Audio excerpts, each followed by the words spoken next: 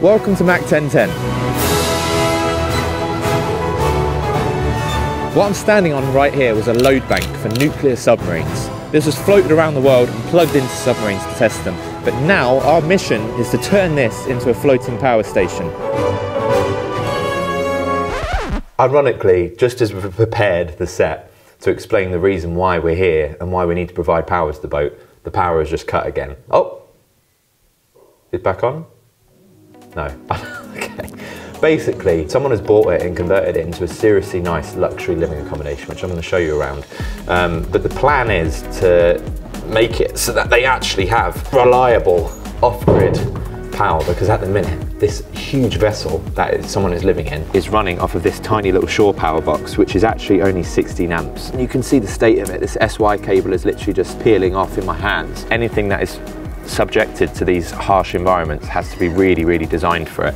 And these SY cables, as soon as you get a nick in them, that's it, the whole thing will just rust out and corrode. 16 amps is just not enough to power this whole boat, but they can't have anything bigger pulled out here because that would mean basically rewiring this whole pontoon. The other alternative is what we're doing. We're putting in a wind turbine and a whole load of solar panels. So I'm going to show you around that. Oh, open it. Look, there's a fish. Oh, look. Wow, the size of those ones. I think that is a mullet. But either way, I don't really plan on fishing those because I'm pretty sure the poop from this boat's just get flushed straight into the water. I think with a mullet, the trick is to cut the sides just right and leave a nice little bit enough to get a ponytail. Yeah, that's not funny. If you want to catch a mullet, you need a white claw attached to a rope and tie that rope to a tree. So when they come onto the white claw drink, you've got them. We'll leave them be. Right, let me show you around the electrical system. So the power comes in from the shoreline out there into this Quattro inverter and then out and into the property. So what this enables you to do is beef up that supply. So if you've only got 16 amps over there, then all of these batteries will basically top up that supply. So if you ever need more than 16 amps, then it will give you that. However, even though you've got a ton of batteries here, these are lead acid batteries and there's only actually 16 kilowatt hours of battery storage here. And when you do the maths on it being lead acid, you should never really deep cycle that. So in actuality, you only have eight kilowatt hours of usable battery storage. So our plan is we're gonna put in a 15K inverter, which will triple his AC capacity. We're gonna be putting 32 solar panels on the roof, so he's actually generating his own electricity. We're gonna be putting in a wind turbine, so he's making use of that wind blowing off of the harbor, taking out all of these batteries, and we're gonna be putting in 75 kilowatt hours of proper LiFePO4 batteries. Step one, decommission all of this stuff. There's a lot of work and a lot of heavy lifting and it's really cold.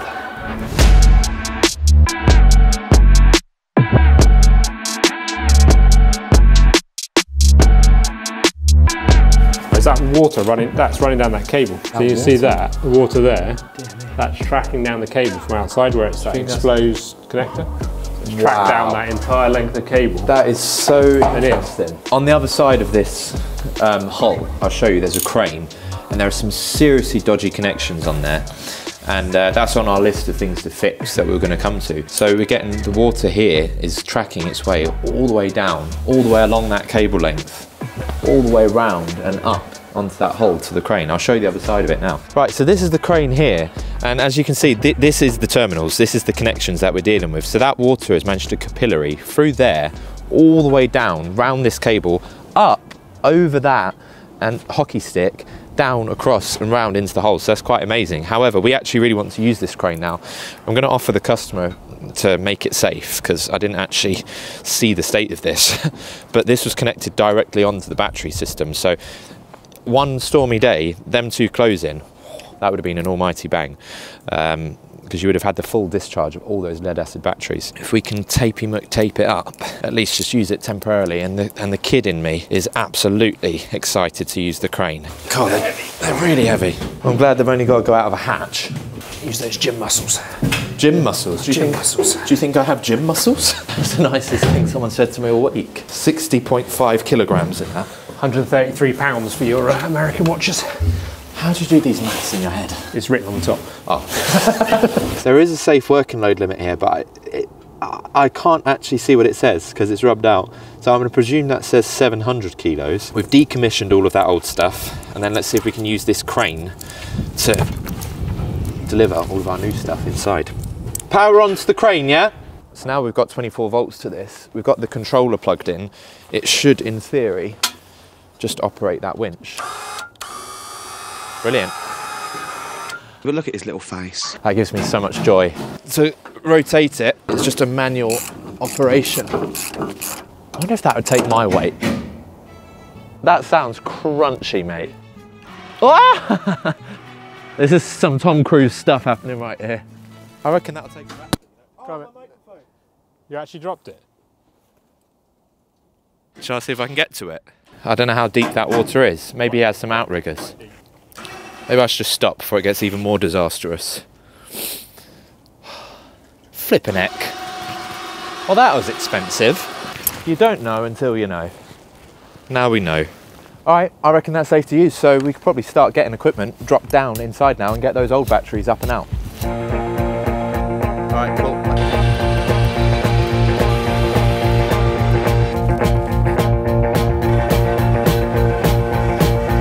All right, so the plan is we've got these Unistrut win- window brackets, and what they do is they work by friction basically. So the Unistrut goes through that hole, and then that screws in, and that will hold everything steady and in place. So that inverter is going to mount there. And then we're going to have these 41 mm Unistrut pieces going down, then we'll have some 21 mm Unistrut going across. And then all of our trunking, we're to have some metal trunking mounted to here. The batteries will go on underneath and then we'll have all of the controls and everything else up here for the uh, Lynx distributor and everything. So it should be quite a cool little setup. I'm having a real dilemma at the minute, right? Because here's the thing: I actually love doing these types of jobs. I want to be hands-on. I want to be able to do everything. I don't want to be faffing around on the phone or handling emails or business calls or anything like that. I'd rather be on the tools because that's what I enjoy doing. When I started this business, the whole idea was I want to do nice, high-quality installs and I want to do it on my terms. It wasn't that I want to hire a load of subbies and a load of employees and have like this empire while I just sit back and reap the benefits. I want to be in the trenches and doing the work.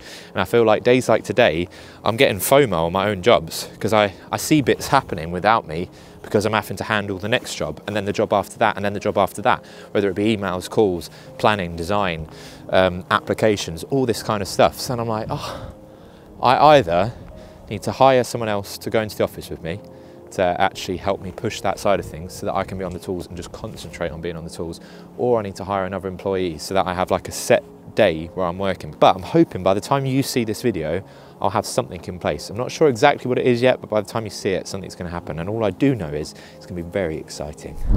I got your screws. Trouble is, you can't use the spirit level on this boat because the boat itself you can feel when you're sitting here is rocking around. So how that on, how on earth do you find true level on a boat? You can measure off of these beams, but these beams have a bow to them as well. So these are what the batteries actually can mount onto basically. So you can either mount them on their feet or mount them by these. I think what we'll probably try and do is do a bit of both. So I want to have the least amount of weight as possible on all of these worlds, even though they are they are solid. Um, I want to try and keep that in there to stop them from falling forwards, and the feet to sort of take the weight of them.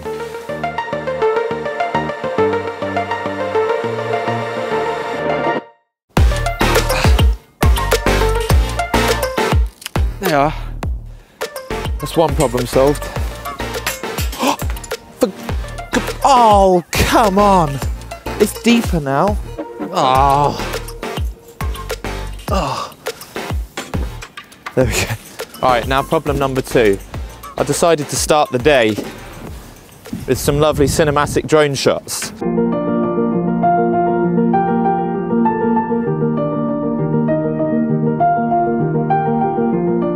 I've, I've had a bit of a mishap. Didn't know there was another wall there. So currently, that's the view. There's an RAF base here, like a naval base, and they use signal jammers. And I suspect it could have been a signal jammer, or it could have been horrendous piloting. I'm suspecting the first. What a rubbish way to start the day. That's a proper pee on your morning parata. Or it's, it's going to get really deep once we pass the rocky stage. Ah, look at that. I'm living Bournemouth Pete's dream life. Sorry, crab. Ah, there he is. Ah. Well, that's why it crashed. The arm fell off. That wasn't my fault after all. Right, so that drama aside, the job for this morning is to get all of these panels shifted up and over onto the boat.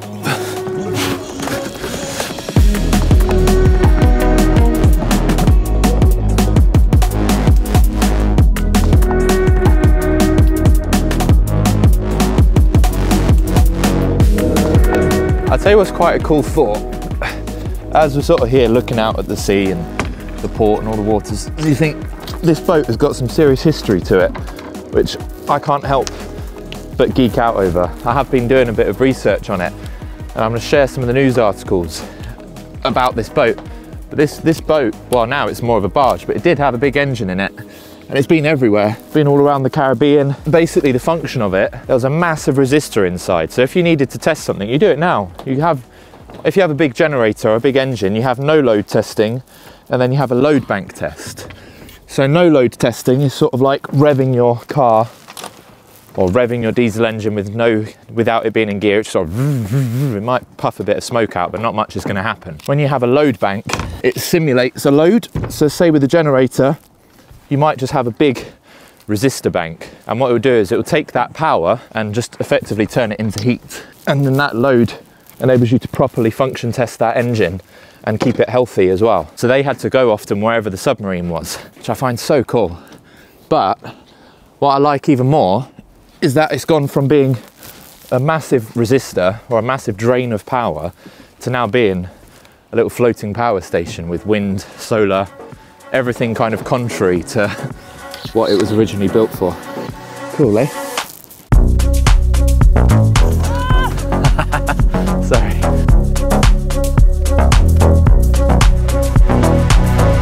This camera is an absolute beast. I get asked a lot about how I get shots like this. Or like this.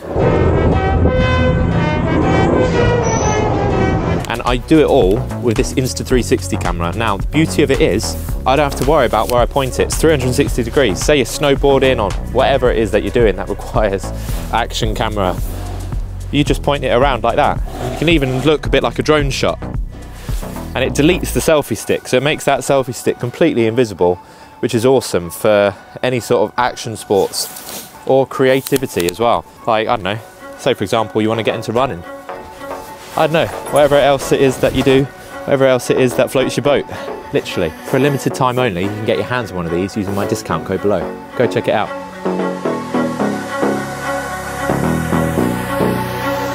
Okay, so basically yesterday we got a lot of the inside done, so we're making the most of this little weather window, if you could even call it that, to get all of the rails on. We have these clamps which compress around the standing seam, and then the rails sit on top of that. We actually have three rails on this side, reason being the wind uplift is going to be absolutely ridiculous. I did think about doing some solar skirt on there, but I'm kind of worried that the wind might even take that away. So we're, we're opting instead for an extra rail, keeping it tight to the roof. I'll show you one of these close up, and then I'm going to go get cabling. So these are the fixings here, and this is a special type of fixing which goes onto this type of roof. This type of roof is called a standing seam roof. It's where you have the individual sheets of steel that are bent or aluminium or whatever they are, pushed together and then crimped together. Um, so you use this type, which is a compression fixing, because you don't want to be penetrating holes in this roof. So that just clamps on, like so, and then two little grub screws tighten those up. I'm not going to nip it up all the way because we still need to run the string along here. The rail basically screws in and it's as simple as that. Quite a simple little solution really and it will be very effective. You've got those little teeth there which will bite on underneath, hook themselves on underneath the actual standing seam itself. So as I say, we'll leave Jonathan to get on with those and I'm going to go get some cables pulled in. It's funny because we can't really have a two-way conversation because my other mic is in the water. What I really hope is that there's some kind of Caribbean crab that's in the water. And he's doing something or saying something to the microphone, and hopefully that gets picked up. What is this idiot babbling about? That island is sus. A thousand percent they're hiding something on there. There's no way that you can have an island like that and not hide something on there. If they're not, then I want to hide something on there. We're floating now, also. Look, if you do this fast enough, I reckon we'll be able to tip the boat up. Move the string line down. This is so much exercise. Right, so the next row we're putting there, the panels are going to be pretty much touching at the centre because we want the wind to go over. We're going to have these 200 mil down from the centre and then the bottom panel we're going to have it 100 mil up from the centre so that it's got more support that way. And then we're adding an additional row to what is necessary down the centre here, just for that extra bit of support on it. I'm actually having to be a bit careful so we don't stack it. We're putting these rails on now, but the waves, even though they're only small, when you're up here, because of the, the movement of the narrowness of the boat, it's like you end up having to surf. We've been very assured by the client that this is structurally ready for the wind uplift that comes from solar panels. But uh, you can't help but be a little bit frightened when you get a gust of wind come across and you remember how powerful the winds are. Because you've got the Isle of Wight, obviously Gunwharf Quays and that, and then the, the wind just comes round here so fast, it really whips in. That little wind turbine is going to be pooping its guts out.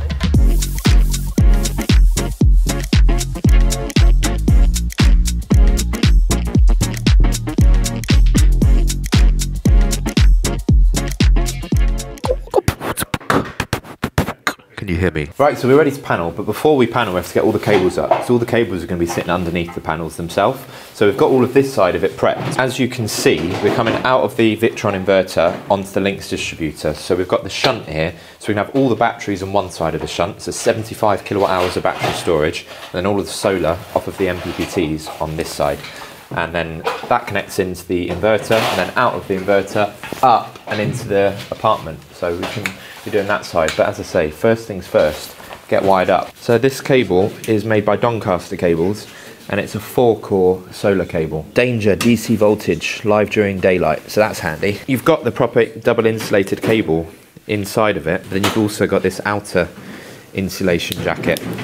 So it just saves us having to worry about the external influences here so much. Being out at sea, not really comfortable just running cables on their own. I'd want them inside of some kind of conduit or something just to protect them a bit extra. This has got that outer jacket of insulation just to protect the cable. So we're going to be running that up onto the roof for the various strings. So let's do it. The plan is I'm going to get this stripped. I'm going to get this cable tied on to the roof before the weather really turns so we can start getting some panels on. And then they are going to be down there routing the cable down and into the plant room.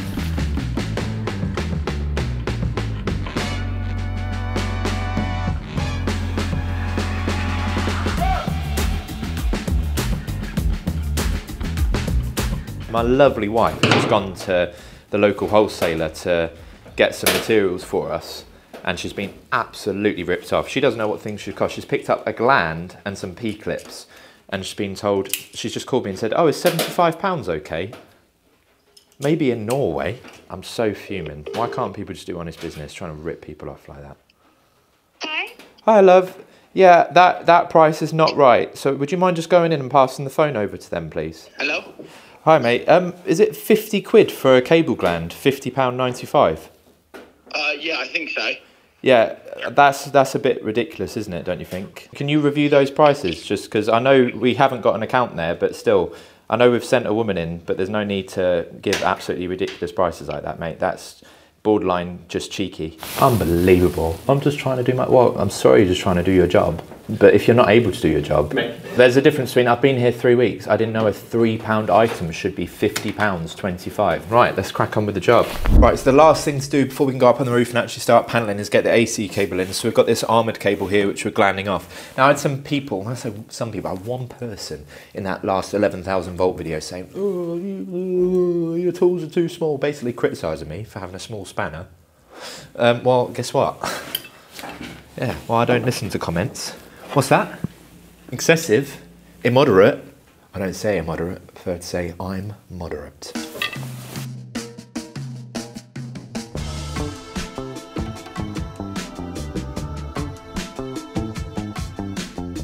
Right, so this roof is actually off of the Gosport Ferry, which is quite a cool little fact. But my plan is now to put the end caps on, the end of the rails first, because they're going to be quite inaccessible once all the panels are on them. But these rails are so nice. Right, so once we've got the six on this side, we do the six on that side, and then we're not sort of painting ourselves into a corner. Really faffy and complicated because you can't really overreach, because overreaching just means instant swimming.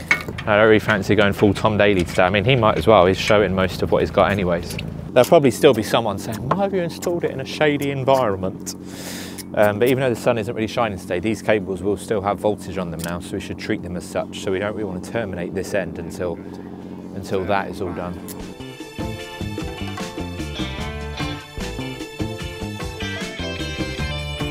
Nothing much to say, but I'm listening to a podcast on stress at the minute. I've realised I may have it. It says to avoid things that cause it. And I've realised work causes my stress. So I might just go on the dole. Sounds pretty sick. So we've got all the panels bar two up on the roof and we've just run out of daylight. So what we're gonna have to do now is cut the rails a little bit shorter and adjust a couple of bits. So we're going to leave that for tomorrow. But that means now we're on the dash to get them some power for tonight. At the minute, all we've got is the old 16 amp feed in going directly into their distribution board and every time they boil the kettle it's tripping even quicker now so uh, it's not enough to run their house. So what we're going to do is connect it up so that we've just got these two batteries on and have a supply out for tonight so that they've got something. And then tomorrow it'll just be a case of finishing touches tomorrow then so. Right so the dc cables come off the roof round the edge up inside this little hockey stick and into that corner. But it's all the way up there. And to try and get a ladder in here and get it to lean on the thing is a bit impossible. So I'm just gonna have to kind of go Spider-Man on it because we need it to come along the top and down the edges. But you might see this really doable is just to climb past my drill, please. Oh wow, there's a crawl space above the whole boat. That's really good to know. Oh, the electric's up here. Here you go, this is my view right now. And then we've got this absolute shocker there. And uh, all the way down to the end of the boat. It's late and I would quite like to be at home or in the bath. Sorry to put that image in your head. But it is moments like this where I'm like, do you know what? I love my job. I'm in a boat. Oh, the battery's dead on that. I take it back. I don't love my job anymore. All right, so the cables are down and in now. So they come in through there and they're going to come straight into these isolators. So this is the front of the boat. I want to try and do it in a way that kind of makes sense. These are connected up that end, so I need to get this done tonight really because in the morning when the sun comes back out, these will be live again. When you're on a stuffing lounge, you always want to just have a little bit of the outer jacket coming in where possible. This can be cut about here now. If you did this in the daytime, be a big bang. You can see in a situation like this why the PV Ultra cable is so nice. Rather than just have bare strings down and into here, it's all properly insulated. You've got to really watch out on these isolators because they're so easy to wire up wrong. Because some isolators go straight through like that, like that would make sense. And I don't know if it's because of the way the terminals are laid out inside, but these ones cross over. So they go basically one, two, three, four. So they zigzag across each other. So you just have to be a little bit careful of that. Now the other guys have gone home, it's a lot quieter. The banter's gone. Just have to banter with myself. Why did the chicken cross the road? To find himself. All right, sweet. They're wired in. This cruddy cable here, where the water has managed to track its way all the way through, that is the old supply cable. So that'll be coming out tomorrow and be replaced with a proper HO7. Um, but for now, we're ready now tomorrow to wire up from here into the MPPTs, from the MPPTs into the Lynx distributor. Lynx distributor already is wired into the inverter.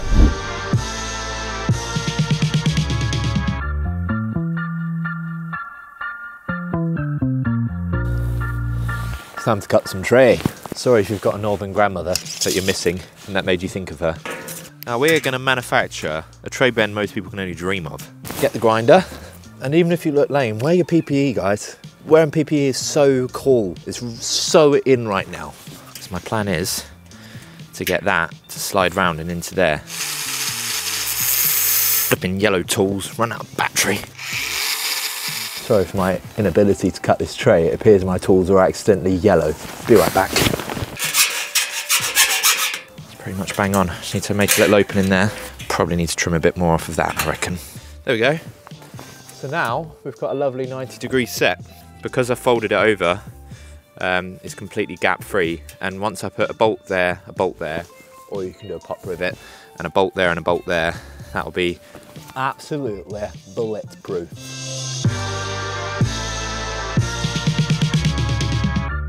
All right, so all of these connections here all have to be torqued up to approximately 14 newton meters.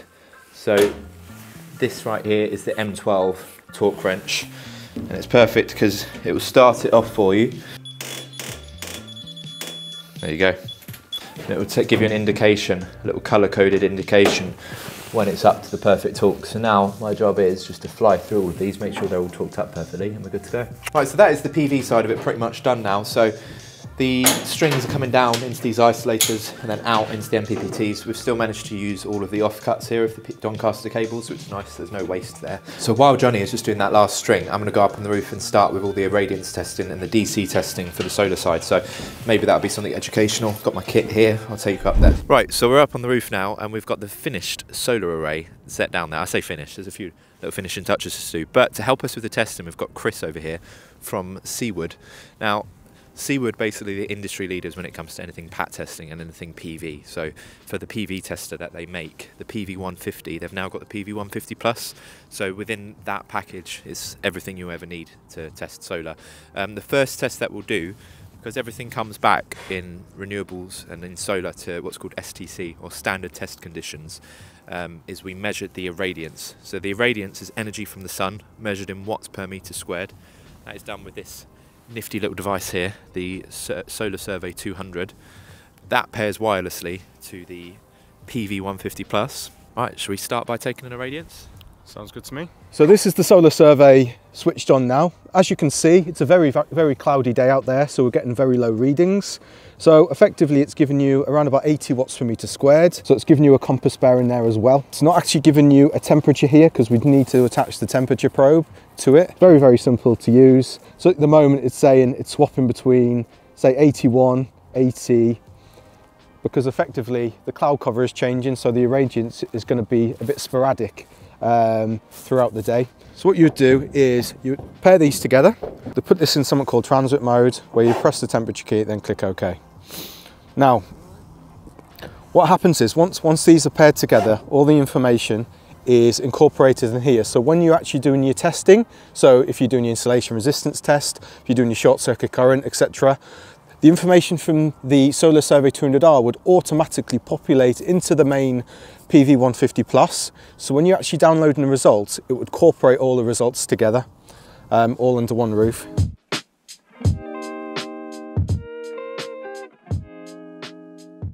Right, now we're on the other side. So what we need to do now is test everything from here up. So from the isolators. So if you had MC4s, you would basically just plug those MC4s into there. Um, we haven't got MC4s here, obviously it's wired into an isolator, so instead we've got test probes. So remember in solar you've got closed circuit voltage and open circuit voltage. You've also got closed circuit current and open circuit current. So we are measuring our open circuit voltage and our short circuit current. Um, and also we want to measure insulation resistance. So got these two probes going into the top here. We've also got an earth reference point.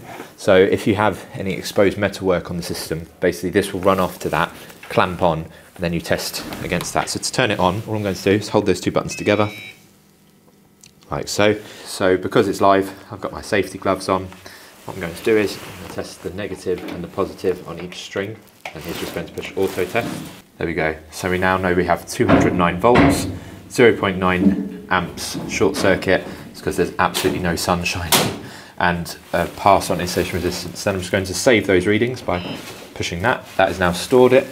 There we go. 174 volts, 0.87 amps, uh, 199 insulation resistance. We're going to save that. We move across to the next string. There we go. So 209 volts, 0.4 amps, and 199 mega ohms. So we're going to save those, and that is the testing done. Right, so I'm sorry if you're expecting some nice, long, complicated test video on how to test PV systems, but that is the extent of it. With the tester that I use now, the 150 Plus, auto test and it does everything for you. So, and with all of the test results saved onto here, that will then be uploaded to my computer where it will automatically populate my DC test certificate for me to then hand over to my customer. So just incredibly easy, incredibly simple. Right, so now we're tested with a massive thank you to Chris as well from Seaward. Um, we can move on to actually livening things up and commissioning. All right, some real world sparking now and some real world issues. Basically, we're trying to get the system up and commissioned and then we conclude this lovely section of the video. However, we're not able to because the shore supply keeps tripping out. Now, it's complicated for a few reasons, one of which it's part of a marina, so we're not actually able to really touch their side of things. However, it's got a 30 milliamp RCD up front, and there's also a 30 milliamp there. Now, he's got a lot of smart devices, LED drivers, all that kind of stuff, which is just fantastic kit if you're trying to trip out an RCD. So I've measured, and there is some earth leakage. What we're doing now is a ramp test. Okay, yeah, testing. Yeah, again, 21 milliamps. Yeah, there's no leakage on that, so that is the RCD is tripping too early. So that means that RCD over there is probably just a bit tired. It could even be the temperature constraints because it's really cold and it's operating in there without a heating element or that kind of thing. The solution will be ask the doc to either put that up to 100 milliamp if their regs allow for that, replace it for a new one, um, or we can do something called galvanic isolation, which is where we could put in a galvanic isolator. It'd be a bit like a shaver socket. It'll be a one-to-one transformer, and it will just completely separate our electrical system from theirs. So all the things that it perceives as fault current won't actually go back that way. It will stay within our little system, tied, neutral earth tied system. Which means that's going to be a solution for another day. Right. Right, we have our solution. This right here is the isolation transformer that I talked about last time. So this will allow us to completely separate from the grid. So it's a one-to-one transformer providing separation by magnetism basically. So what I'm thinking is we stick it just there so the supply cable can come into that and then out and into this. So that any fault currents and issues with the supply will stay out there and anything that we provide in here that provides issues out there will stay in here. So we're two separate systems, passing ships. If you recall me ripping into Alex for him actually paying to run, him going for a paid run. And I was like, why on earth would anyone ever pay to run? You can do it for free. Well, I've just signed up for the half marathon in Bournemouth. And I'm doing it for a charity. I'm doing it for the Lifeboats charity. That's because they've actually rescued me before. That's a long story for another day. I'm going to keep my progression on the channel. Well, hopefully you should see my progression as I get slimmer and slimmer, I hope, until eventually I look like Kipchoge. That way as well, I feel it keeps me accountable to make sure I am training and make sure I am running because my times will be public. So I know people are going to be able to see my times on here. And if, I, if you know 100,000 people are going to see your times, I know I'm going to want to do it in less than 17 hours.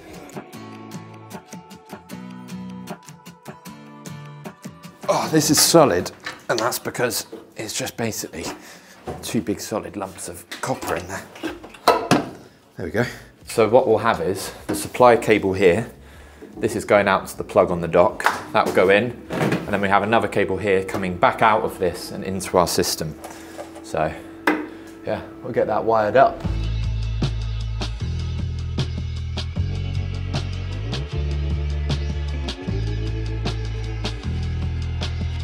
This is a really interesting one because you see, you've got back there, this is the big copper coil. So that's going to be part of the transformer. But as we say, the transformation is just one to one. So you've just got in and out. So these are going to be wiring in just there, and then this is going to be the output just there to the inverter. Because we're isolating and we are we're floating most of the time, we have to link the line and neutral together in here to effectively make our own TNCS. So I believe it's between these two terminals, J5 and J7. So there's actually a lot of information inside guidance note 8, which is the guidance note made by the IET, just for earthing. Um, and within that document, there's a lot around boats and vessels. So you can see here, this is basically explaining the situation we're in now where you're floating and you connect up the hull as part of the TT. It's all very interesting. I don't want to give too much advice because every single situation is going to be unique and different.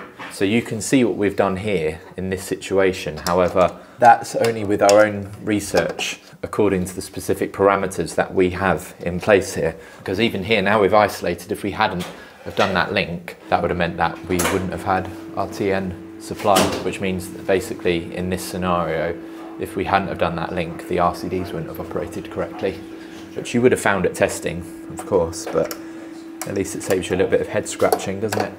All right, so that is us done. So all of the solar panels are on and we are generating.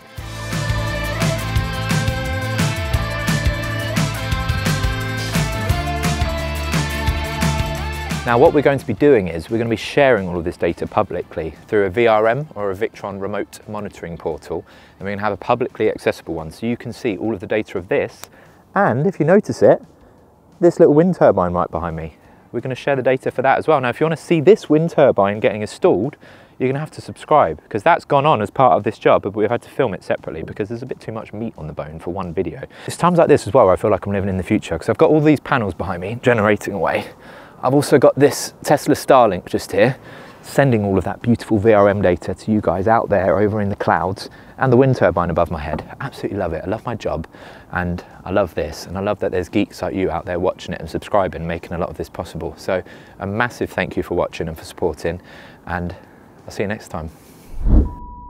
Wind turbine.